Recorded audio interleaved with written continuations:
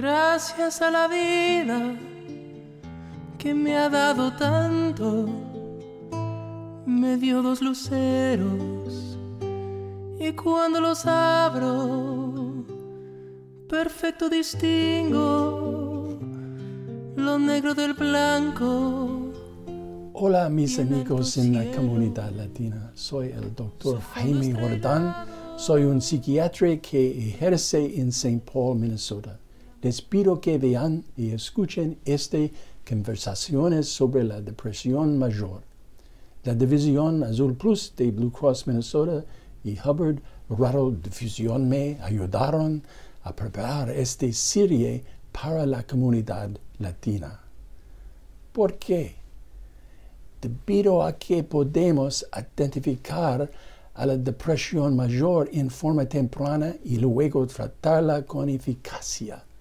Un buen tratamiento consiste en una terapia y medicación para mejorar la vida día a día.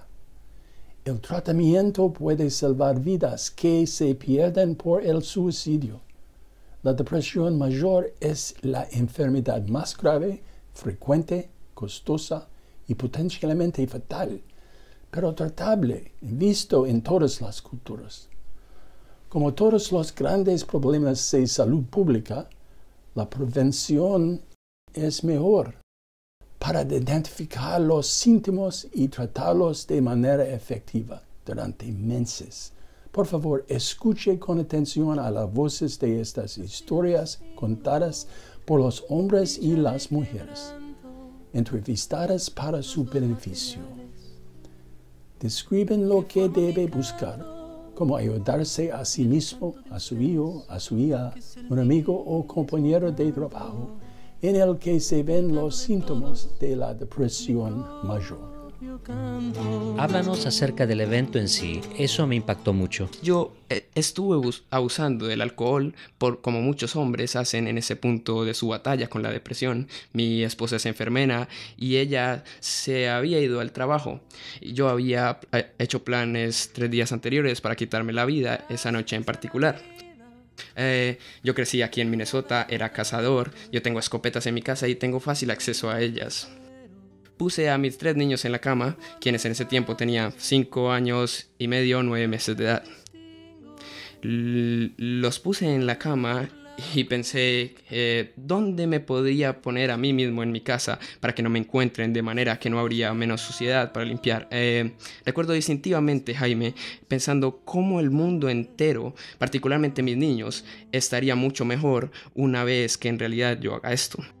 Así que me senté con el arma y mi, hija Ellie se despertó, se despertó llorando.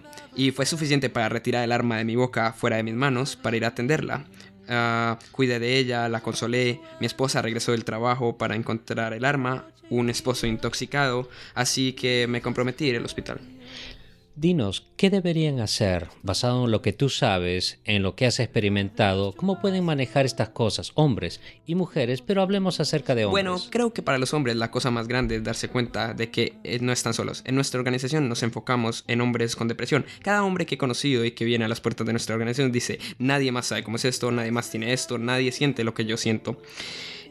Y una vez que ellos se dan cuenta, ellos conocen a un grupo de otros hombres, ellos se dan cuenta de que no están solos. Así que yo pienso que los hombres necesitan entender que no es único de ellos. Eso es lo que marca la diferencia, la conexión. Sin lugar a dudas. y recibir ayuda. Sin lugar a dudas. Mark, quiero agradecerte. Hemos tenido tan poco tiempo para cubrir muchas cosas. Tu mensaje ha sido muy, muy importante. Claro. Linda, ¿podrías hablarnos acerca de tu hijo?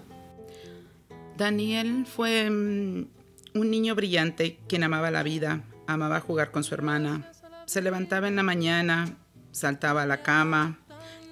Empezaba a estar muy ocupado, ocupado con el día antes que abriera sus ojos. Él amaba la vida, él era divertido, él tenía amigos. Esto cambió gradualmente. Bueno, cambió intensamente cuando nos mudamos a Minnesota. Él tenía 13 años y después de eso su vida se puso peor. Creo que he estado en duelo por 15 años o la mitad de su vida. Las cosas que simplemente no parecían mejor para él. Yo sabía que eventualmente esto es lo que sucedería. Él habló acerca de esto conmigo Y nosotros fuimos bastante abiertos acerca de esto. ¿Él habló de quitarse la vida? Tomar su vida. Eso fue inquietante para mí, pero no había nada que realmente yo podría hacer. Y finalmente le dije que cualquier cosa que él escogiera hacer con su vida, yo lo apoyaría. Y cuando él se fue a Portland, Oregon, a la universidad, tuve este sentimiento fuerte de que probablemente no lo volvería a ver otra vez. Y de hecho él dijo, si no funciona, yo no estaré. ¿Nos podrías decir cómo murió tu hermano? Y tu madre dice que ella no está sorprendida. ¿Te sorprendió a ti, Ana? Mm, mi hermano iba a la escuela en Portland, Oregon. Mm, él en la mañana mm, el día que él terminó, mm, que él escogió para terminar con su vida, mm, fue el primer día de regreso del regreso a la primavera. Seguridad hizo un seguimiento y su tarjeta de entrada registró la hora alrededor de las 7 de la mañana. Él se fue al décimo piso donde está ubicado su dormitorio. Él sacó la malla de la ventana de su dormitorio y procedió a saltar desde el décimo piso. Alguien lo encontró y ellos trataron de resucitarlo, pero fue inútil nuestro problema, un problema de la comunidad, posiblemente un problema de salud pública. Estaremos viendo esto en el futuro, pero aquí tenemos esta oportunidad de ver a un médico, de haber evaluado la medicación.